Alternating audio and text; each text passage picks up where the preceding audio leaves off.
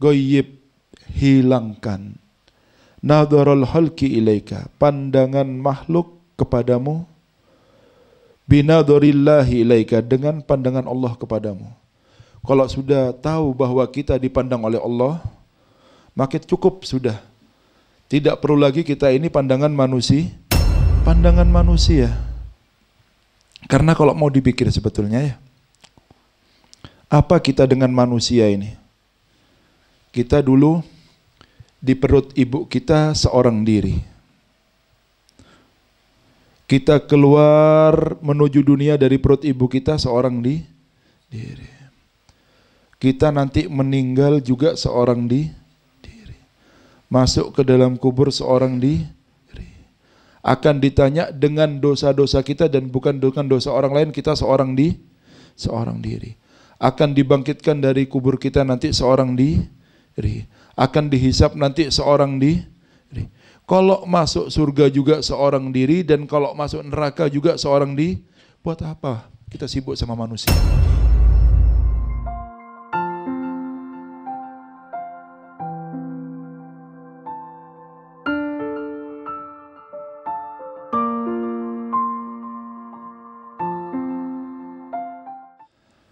Terkadang manusia yang ada di atas muka bumi ini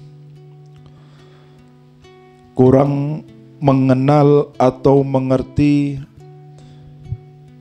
bagaimana dia itu dan untuk siapa dia melakukan amal perbuatan soleh yang dia lakukan.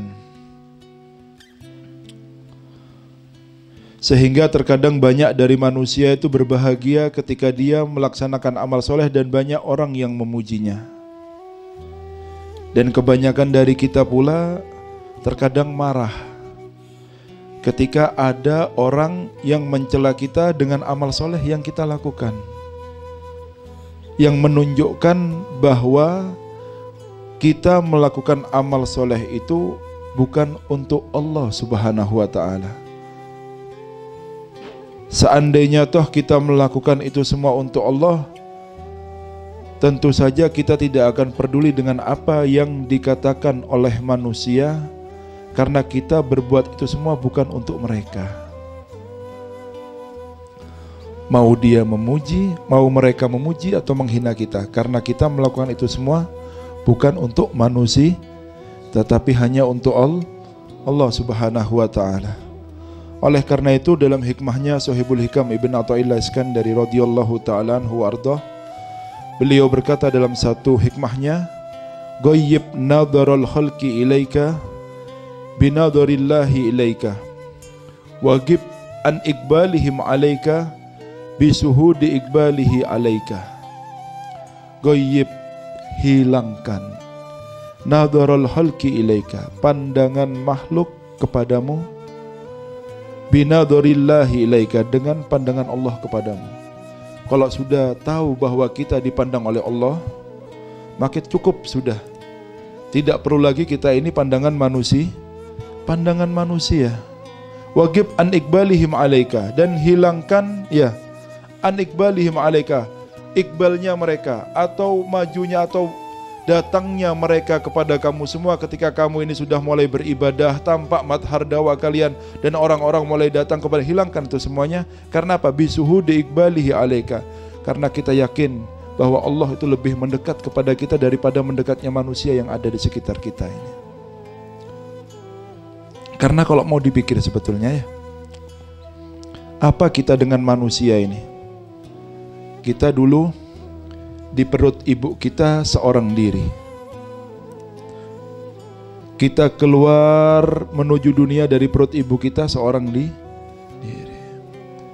Kita nanti meninggal juga seorang di diri. Masuk ke dalam kubur seorang di akan ditanya dengan dosa-dosa kita dan bukan dengan dosa orang lain kita seorang di seorang diri akan dibangkitkan dari kubur kita nanti seorang diri akan dihisap nanti seorang diri. Kalau masuk surga juga seorang diri dan kalau masuk neraka juga seorang di buat apa kita sibuk sama manusia? Buat apa pandangan manusia itu? Berarti belum mengerti ya. Bahkan ya. Kalau seseorang soleh yang sungguh-sungguh, ya, dia itu tidak akan mempunyai nilai apa-apa di mata manusia pada umumnya. Karena betul-betul pandai menyembunyikan amal solehnya di mata mereka semuanya dan menunjukkan bahwa dia itu adalah manusia biasa yang sama seperti mereka. Tidak bertampang soleh di depan manusia. Itu yang sungguh-sungguh. Ya. Wala lil halqi indahu dan begitu juga makhluk itu tidak punya nilai apa-apa di matanya dia. Dia tidak ingin menampakkan amal solehnya di depan makhluk sehingga makhluk melihatnya dia sebagai orang biasa. Dan dia juga melihat makhluk tidak mempunyai nilai apa-apa di mata dia semuanya. Sehingga ya Fakullama adama amrohu indallah khafiya amrohu indanna. Setiap semakin agung ya derajatnya, kedudukannya di sisi Allah Subhanahu wa taala, semakin dia tersembunyi di mata manusia sehingga tidak merasakan manusia sama sekali di sekitarnya. Walaupun dia dengan badannya berkumpul dengan manusia, tapi hatinya tidak pernah melihat mereka sama sekali. Sehingga jadilah orang-orang yang soleh itu jadi orang-orang yang soleh. Yang disebut soleh itu berarti bersih dan suci tanpa ada kotorannya.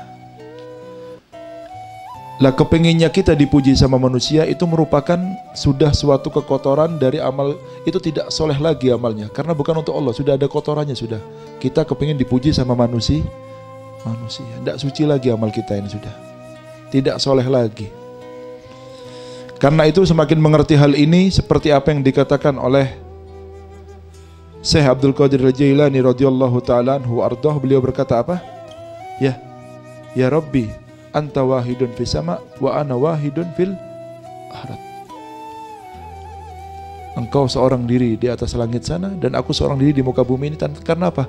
Dia mengatakan seorang di atas karena dia tidak melihat makhluk sama sekali di sekitar dia. Sehingga kalau wirid hadirnya cuma yang dia merasakan cuma ada dia dan Allah Subhanahu wa taala. Badannya sama makhluk, hatinya tapi sama Allah. Allah Subhanahu wa taala. Kalau bisa seperti itu, walaupun kita kumpul dengan badan kita sama mereka, hadirkan hatinya sama Allah Subhanahu wa taala. Dilatih. Dilah dilatih. Ya.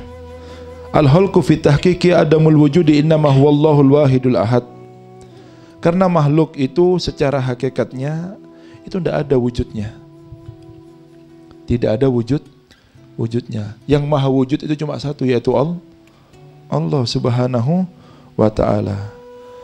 Fawujudu siwa kal bahai fil hawa au lil ashas fa in fatastahu lam tajid husai'an. Karena wujud daripada selain Allah Subhanahu wa taala itu hanya seperti bayang-bayang manusia yang ada sama kita ini. Kalau kamu perhatikan secara sungguh-sungguh, kalian tidak akan dapatkan apa-apa nanti. Ya. Fagoyib anka ayuhal fakir nadarul halki ilaika iktifaan binadaril haqqi ilaika. Itla nadara lisiwa maka hilangkan dari di sisi kamu dari jiwa kamu ya. Wahai orang-orang yang fakir kepada Allah Subhanahu wa taala pandangan makhluk kepada kamu. Sudah cukup? Buat apa pandangan? Cukup kita yakin bahwa setiap amal soleh yang kita lakukan itu dipandang oleh Allah baik ada manusia ataupun tidak ada manusia kita harus yakin, tanamkan keyakinan di dalam hati kita bahwa Allah mengetahui dengan apa yang kita lakukan. Sehingga orang-orang soleh ini kebanyakan mereka itu belum khalwat kenapa? Ya karena dia yakinnya tidak butuh sama pandangan manusianya mereka. Kalau orang-orang soleh itu berkhalwat dan diketahui manusia, itu khalwatnya bukan dia tuh kepingin humul, malah kepingin suhro namanya kepingin terkenal biar tahu kalau orang ini khalwat dan lain sebagainya. Daripada ketahuan manusia dalam keadaan khalwat lebih baik dia kumpul sama manusia saja. Karena nanti orang akan muji dia semuanya akhirnya. Luput nanti akhirnya. Sudah kumpul saja biasa saja sama manusia. Tetapi pinter-pinter mengatur waktu kapan untuk makhluk dan kapan untuk Allah. Jangan pernah mendolimi dari salah satu keduanya. Pinter-pinter bagi wak waktu. Ini adalah keadilan yang diajarkan oleh Rasulullah Shallallahu Alaihi Wasallam. Karena makhluk sekitar kita itu punya hak atas kita, keluarga kita punya hak atas kita, dan Allah juga punya hak atas kita. Dibagi yang rata, dunia kita punya hak atas kita semuanya. Dibagi yang rata, kapan waktu untuk dunia kita, kapan waktu untuk keluarga kita, dan kapan waktu kita untuk Allah Subhanahu wa Ta'ala. Jangan didolimi salah satunya. Bingung sama dunianya, nanti sisanya sama keluarganya, tidak ada waktunya sama sekali sama Allah Subhanahu wa taala. Tidak ada seperti itu ya. Dibagi yang rata.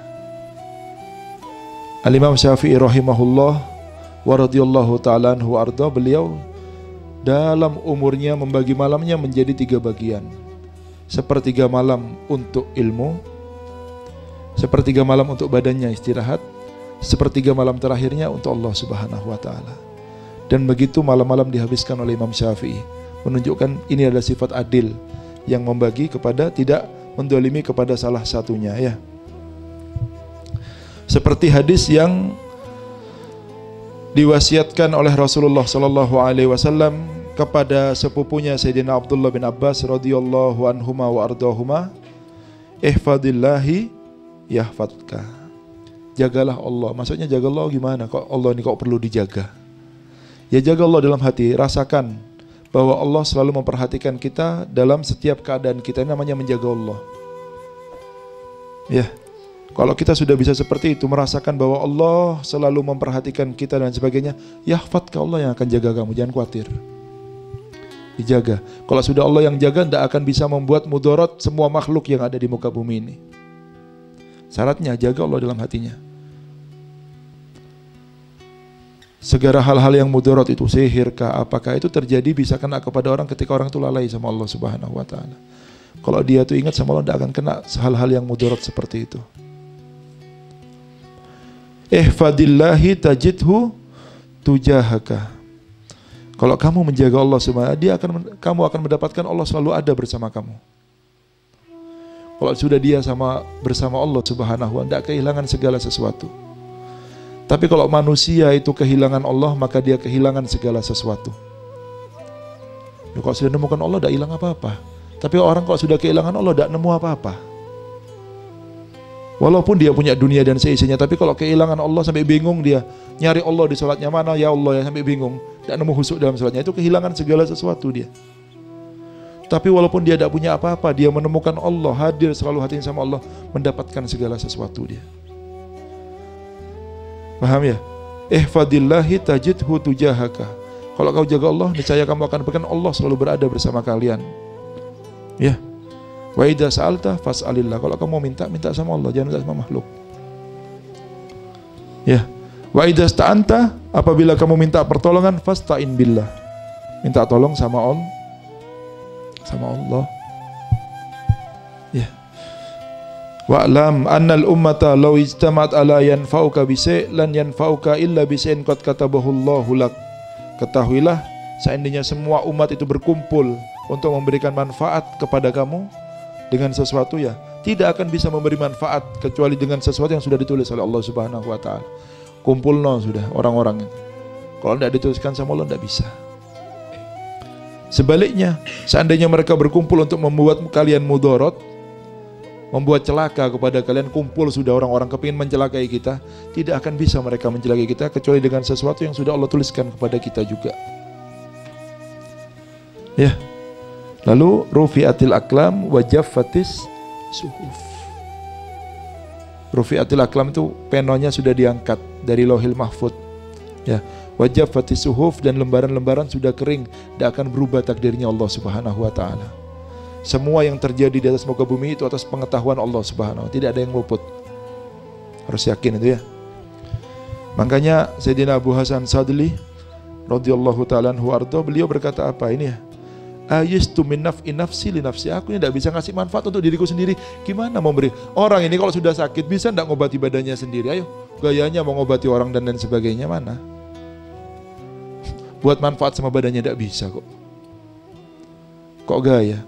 Siapa orang yang bisa nahan kematiannya sendiri? Tidak bisa gayanya menyembuhkan ini. Tidak bisa. Fakaifalah ayat asu min naf'il goirilah. Bagaimana aku tidak putus asa mau ngasih manfaat sama orang lainnya? Ngasih manfaat sama badanku aja tidak bisa. Sampean bisa tidak mencegah diri sampean untuk tidak bermaksiat? Tidak bisa. Kalau sampean sudah tuliskan maksiat, maksiat sampean. Nahan badannya saja tidak bisa sampean. Kok gaya? Ya. Warajautullaha li dan aku berharap ya dengan rahmatnya Allah untuk selain daripada ke orang lain. Semoga dia dapat rahmat. Bagaimana aku tidak berharap untuk diriku sendiri? Itu namanya harapan kepada Allah Subhanahu wa taala. Ya. Paham ya kalau orang-orang soleh kepada Allah Subhanahu wa taala ya, dia cukup dengan Allah Subhanahu wa taala karena tahu bahwa Allah mengetahui apa yang dia lakukan seperti apa yang difirmankan oleh Allah Subhanahu wa taala wa may yatawakkal 'alallah fahuwa hasbuh Orang kalau sudah tawakal sama Allah cukup tidak butuh yang lainnya. Cukup tidak butuh yang lainnya.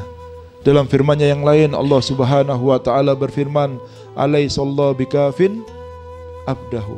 Bukankah Allah itu cukup bagi hambanya? Tidak butuh yang lainnya sudah. Sudah cukup Allah Subhanahu wa taala. Ya. Dalam firman-Nya yang lain Allah Subhanahu wa taala berfirman, "Alam ya'lam bi annallaha Ya roh. Bukankah kalian tahu semuanya bahwa Allah itu melihat apa yang kalian lakukan? Kalau sudah yakin Allah melihat kita, buat apa pandangan manusia lagi? Orang yang masih dia itu senang dengan pandangannya manusia berarti dia masih belum tahu harga pandangannya Allah. Orang yang masih senang ketika dilihat manusia berarti masih besar manusia di hatinya dan belum tahu harga pandangannya Allah. Orang yang kenal dengan Allah tidak butuh dengan pandangan manusia karena dia tahu harga pandangannya Allah Subhanahu wa taala. Kalau dia kenal dan tahu harganya Allah, tidak butuh sama pandangannya manusia. Tetapi karena dia tidak tahu harganya Allah, masih bingung untuk cari pandangan manusia. Manusia. Awalam yakfi bi rabbika annahu ala kulli syai'in syahid. Bukankah cukup bagi Tuhan kalian ya bahwa dia terhadap segala sesuatu maha menyaksikan. Sudah yakin. Ya. Oleh karena itu mari di waktu yang singkat ini kita berpikir aja. Berpikir ya. Kita beramal dari dulu sampai sekarang ini untuk siapa? Sudah nemukan Allah apa belum? Sampai ada tanya di mana Allah di mana kok kehilangan Allahnya ini ke mana ini? Sampai sholatnya bingung nyari Allah tidak bisa husuk. Lah ke mana ya Allahnya? Kok bisa hilang? Karena kita masih cari yang lain belum cari Allah Subhanahu wa taala. Yang tahu harganya Allah Subhanahu wa taala. Ya sehingga kita tidak kehilangan Allah Subhanahu wa taala. Semoga hati kita dijadikan hati-hati yang bisa mengenal kadar ya seperti Allah menjadikan hati-hati para orang soleh mengetahui betul kadar daripada Allah Subhanahu wa taala.